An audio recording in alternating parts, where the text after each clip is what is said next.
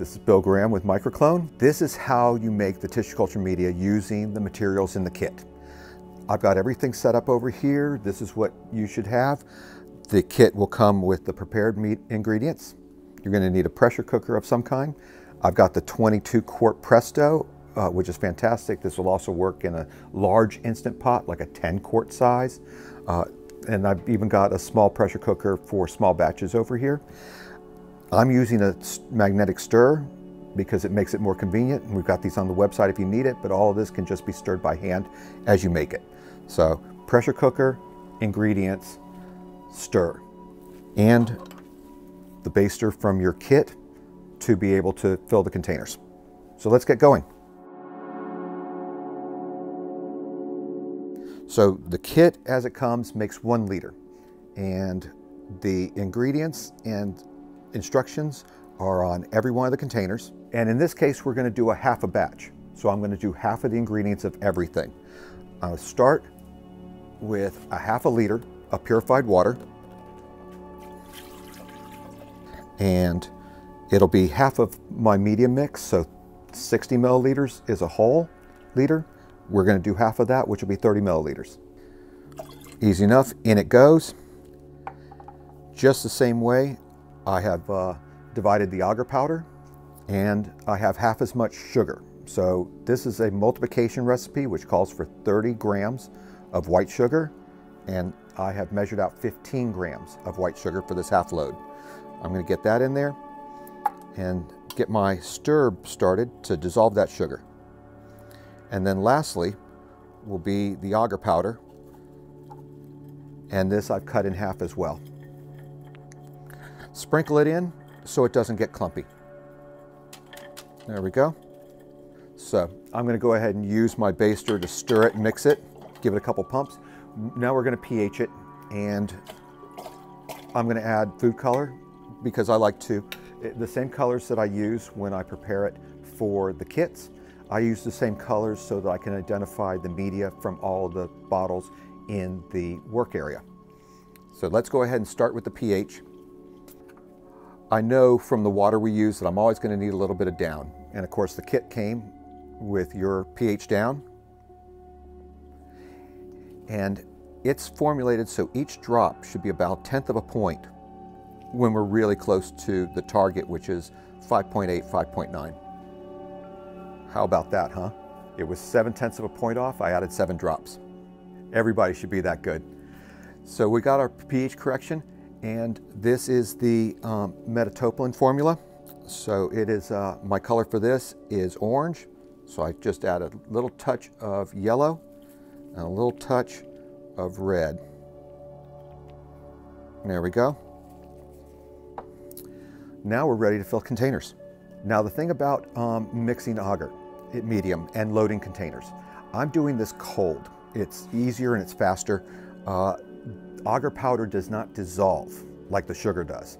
So I'm going to keep this stirred as I fill each container to just make sure each one has the right amount of agar powder in it because it's going to boil and then it melts when it's in the pressure cooker. Uh, you, you can also uh, boil or microwave this to melt it and then distribute it, but uh, it makes it tough when you're using the turkey baster because the hot liquid uh, likes to shoot out of the, the baster. But then it's melted, so you can just tilt and pour, okay? We're gonna do a, a cold filling today. And I've gone ahead and marked my um, baster for the common measurements for the vessels we're doing. I got about seven mils for the tubes and a half an ounce for the uh, flip tops and full ounces for our next size containers. We got all our material ready for to fill the containers and to sterilize them. Step one is to preheat the pressure cooker. Start warming that up because it's going to make everything faster. And this is a good time to show you the containers that come in the kits and the bigger ones that you'll get later when you start getting better and we're going to do more containers in each vessel. So your kit came with the glass tubes. Each one of these will be about seven or eight milliliters. I like to fill it to the line in the rack the plastic flip tops that came in your kit, which are two plant containers. This is one we're going to move up to. The first time you're making media, you'll probably be making the tubes and the flip tops. You'll move into two plant containers, three plant containers, and bigger as you get better because we're not afraid to put so many plants into the same container because you'll have less risk that one's going to spoil and take out, a, take out its neighbors. My three plant container is the glass baby jar, which used to be the standard tissue culture vessel for all tissue culture, but because the baby foods are now in plastic containers, they become uh, more rare. But I still love to use the containers because they live forever, clear glass of course, and we've got the fancy lids that snap on and snap off. So you can do all of this with one hand. When you start getting bigger and more plants from that, I have the uh, four plant clear square containers. And for the masters, when you are into large production, doing several hundred clones a day, we'll like, we use the clear polypropylene deli containers. This is a half liter size and with the filtered lid. And this is good for six plants. So this is really a great way to go because it will make making tissue culture plants so much faster and cleaning and uh, reusing material so much faster. So let's get started. I'll begin with my rack someplace. I always line up a single or double row of tubes so I can see the bottoms. I'll begin by giving it a couple pumps to make sure everything is stirred and I'll go ahead and drop a, a whole tube because I can do a few, a few culture tubes at a time.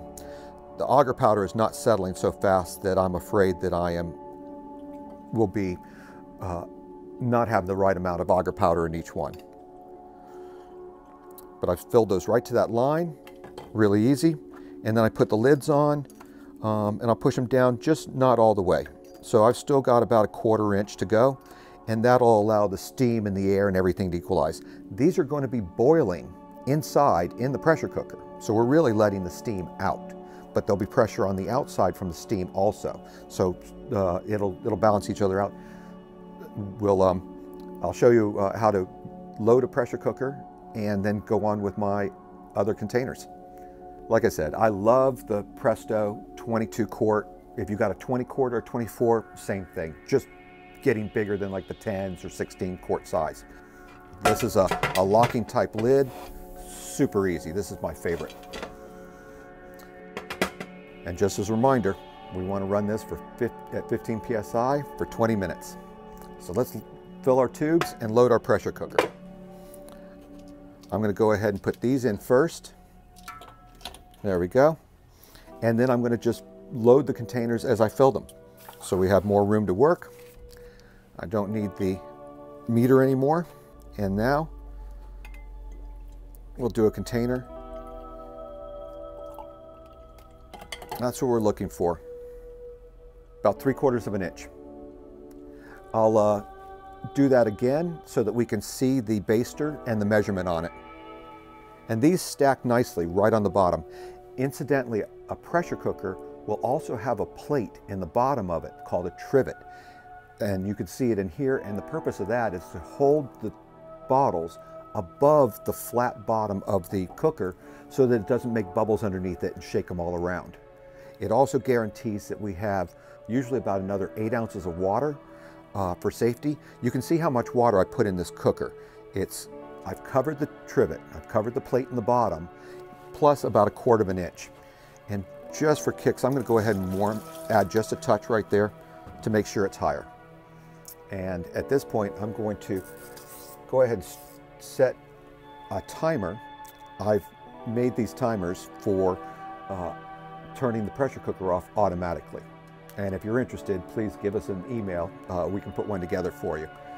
But I've set it at about 40 minutes because I know it'll take 20 for this to start boiling and then it'll be at pressure for about 20 minutes and then it turns itself off. Let me do some more containers. So I'm going to fill this up to the uh, just about the one ounce mark. There we go. And you can see that's the perfect amount of media for this size container is just less than an ounce. Don't snap the lids closed. Uh, when they start to boil inside, inside the cooker, it sounds like popcorn because they're all doing this. So I curve them over, but leave them cracked. Let's do a couple more of those. Make this easy.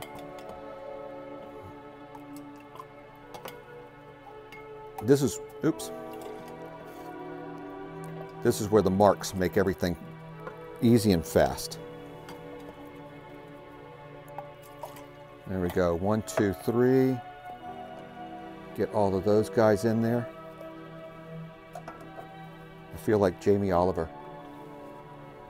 Uh, baby jars. Baby jar will hold uh, a little more media, media than that. It's going to be just over an ounce.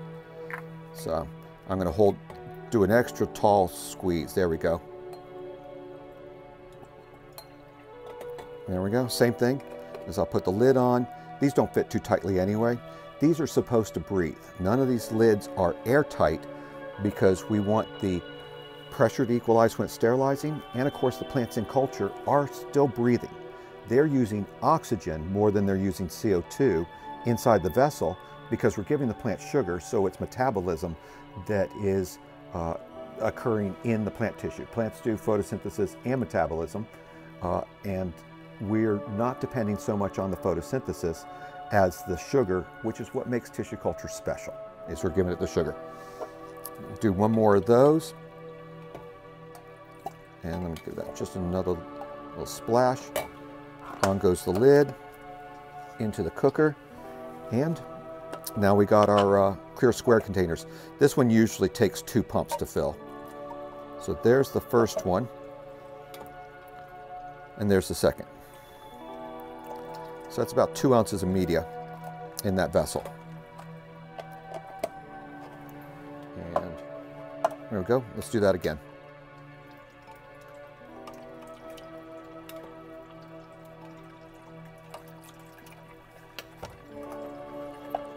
One and two.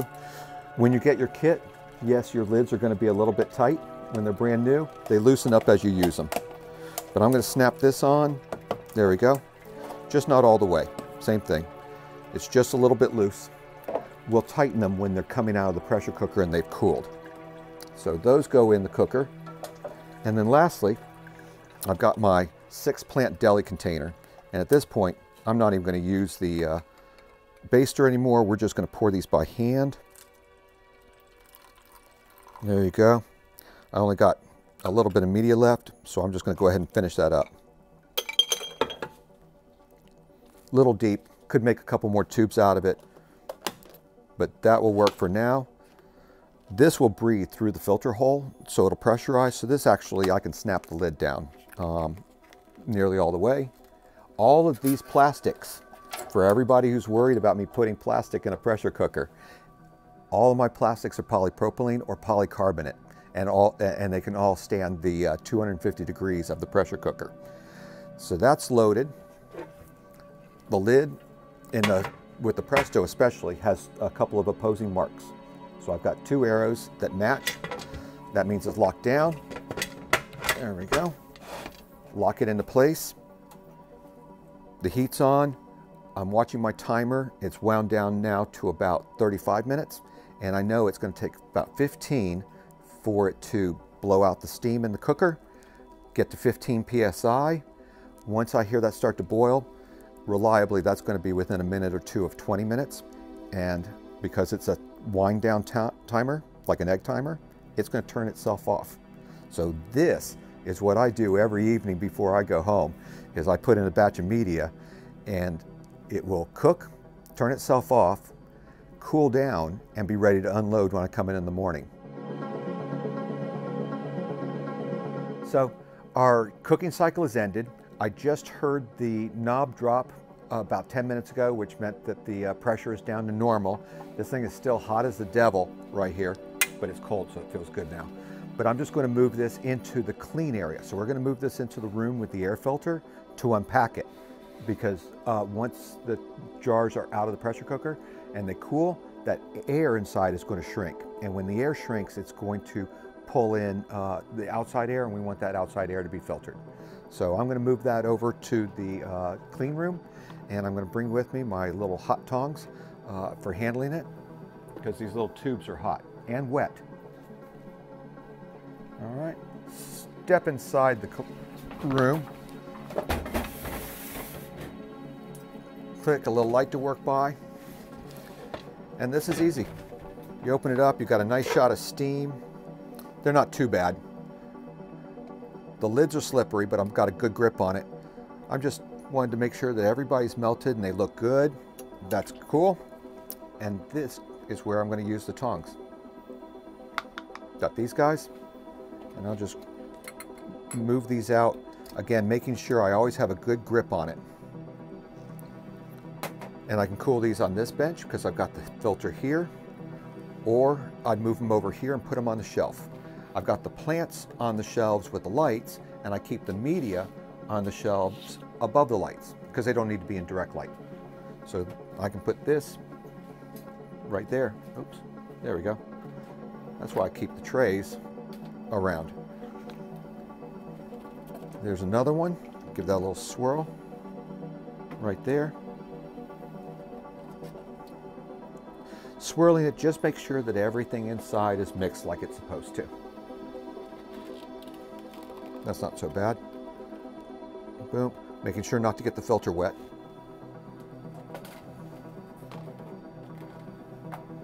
Tape in case anything leaves the grow room. When you're lifting tubes, lift them by the rack so that they don't slip. Everybody here looks good.